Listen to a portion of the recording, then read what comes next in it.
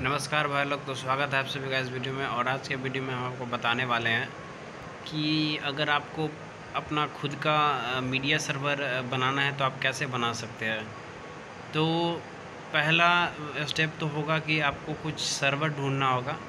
तो एक जो डेडिकेटेड सर्वर तो सर्वर होता है फ़ाइल शेयरिंग के लिए, उसको बोलते हैं नैस वो नैस होता है और ये जो है आपको, आप ख़रीद सकते हैं मार्केट से, नैस करके होता है, जो भी मतलब क्या बोलते हैं उसको, वो सर्वर ग्रिड हार्डवेयर के साथ आता है तो उसमें बहुत सारा बेसिकली एक कंप्यूटर होता है और उसमें बहुत सारा स्पेस होता है ड्राइव सब के लिए, बहुत सारा ड्राइव के लिए।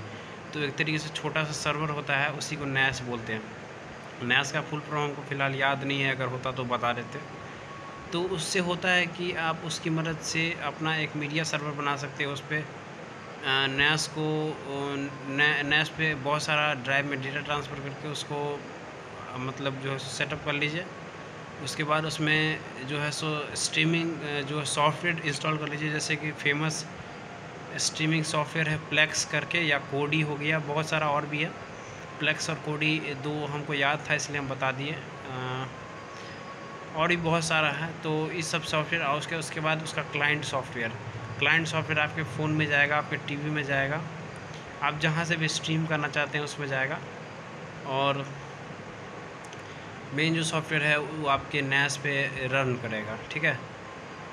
दूसरा बात ये होता है कि आप सोचिएगा कि डेडिकेटेड हार्डवेयर लेने से अच्छा हम क्यों ना अपना ओल्ड लैपटॉप को जो है, सो बना ले सॉरी ओल्ड कंप्यूटर को या लैपटॉप लैपटॉप तो नहीं लैपटॉप उतना पावरफुल नहीं होता है लेकिन कंप्यूटर को बना ले मीडिया सर्वर तो इसका रीज़न है कि आपका स्पीड आपका ओल्ड हार्डवेयर जो है सो आपका उसमें पावरफुल प्रोसेसर नहीं होगा।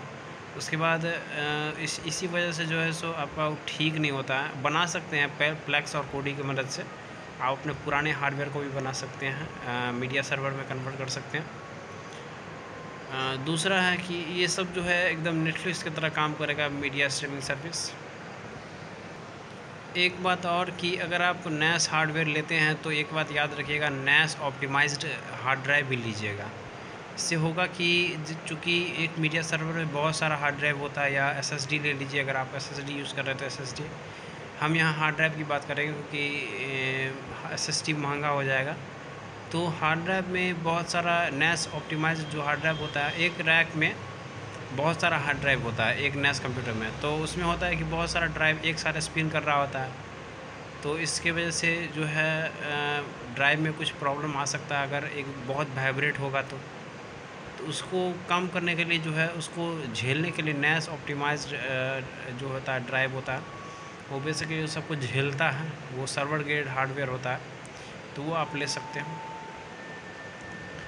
और प्लेक्स या कोडी की मदद से जो है सो सॉफ्टवेयर मतलब आ, अपना मीडिया सर्वर बना सकते हैं। अगर आपको इजी वे में बताएँ तो बेसिकली मीडिया सर्वर एक कंप्यूटर सर्वर के तरह होता है। मतलब आप कंप्यूटर को भी मीडिया सर्वर बना सकते हैं।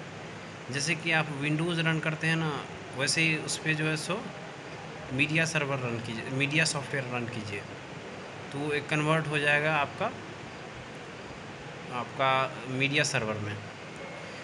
एकदम सिंपल है, जैसे आप विंडोज़ रन करते हैं, लिनक्स रन करते हैं, वैसे ही उस पर मीडिया सर्वर का सॉफ्टवेयर आता है, वो रन कर दीजिए। तो उससे वो सिंपली मीडिया सर्वर में बदल जाएगा, एकदम नेटफ्लिक्स की तरह हो जाएगा। उसके बाद उसका क्लाइंट सॉफ्टवेयर डाउनलोड कर लीजिए, जिससे कि आप उसको स्ट्रीम कीजिएगा। कोई ज़्यादा झंझट नहीं, आप किसी भी चीज़ को मीडिया सर्वर बना सकते हैं। कोई ज़्यादा खोज नहीं। कैसे बनाना है? आपको बहुत सारा ट्यूटोरियल मिल जाएगा आ, मतलब ऑनलाइन जो आपको स्टेप बाय स्टेप बताने में सक्षम है। हम आपको बता दिए जो बेसिक्स था। ऐसे ही बनता है और आप बना सकते हैं। लेकिन अगर आप एकदम डिटेल में चाहते हैं तो नैस के अपने वेबसाइट पे सॉरी नैस का वेबसाइट का गया नैस करके मतलब नैस के बारे में बहुत सारा जो है सो मीडिया सर्वर कैसे बनाते हैं उससे बहुत सारे लोग जो है सो उस पर आर्टिकल लिख चुके हैं। बहुत सारा वीडियो है। तो आप उन सभी चीज़ को चेक कर सकते हैं। तो उम्मीद करते हैं वीडियो जो है आपको कुछ सीखने को मिला होगा। अगर सीखने को मिला है तो हमारे चैनल को सब्सक्राइब कर लीजिए ऐसे वीडियो आगे देखने के लिए। और तो मिलते हैं आपसे अगली वीडियो में। तब तक के लिए जय हिंद, जय भारत। पीस